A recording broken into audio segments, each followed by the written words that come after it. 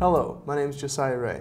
I'm going to show you how to format your flash drive as a FAT16. And this will only really work on flash drives that are 4 gigabytes or under because like FAT32, FAT16 has some kind of weird restrictions on whether or not you can use it based on the way that the original file table was structured when they wrote the program. So, here inside of Windows 7, I'm going to come to the Start menu, and we're going to go to Control Panel, underneath Administrative Tools and Computer Management.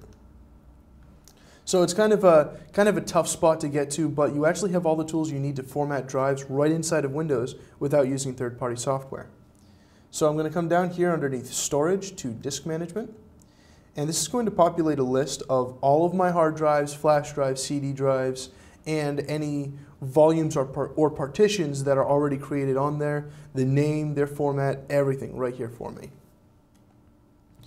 So if we scroll down, we can see that my flash drive, which is this Store 'n' Go, is uh, formatted as a FAT. It's a healthy partition, etc. It's fat and healthy. That's good. So what we want to do is we want to right click on that and go format. And underneath the file system, this is where we're really going to kind of change things around. We can choose NTFS, FAT, FAT32, or exFAT. Now, NTFS is kind of the preferred for Windows. It's in my opinion, pretty robust. It can handle a lot of different file formats. It's pretty efficient. FAT32 and FAT, which is their name for FAT16, are older file systems. They're a little bit less efficient. They've got some weird restrictions on them, restrictions on individual file size and how big the, the partition is that they can handle.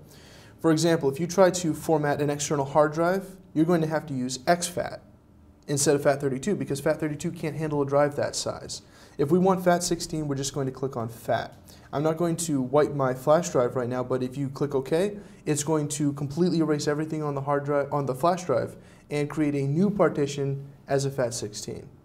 I hope you've enjoyed this short video on how to format your flash drives as a FAT16. I'm Josiah Rea.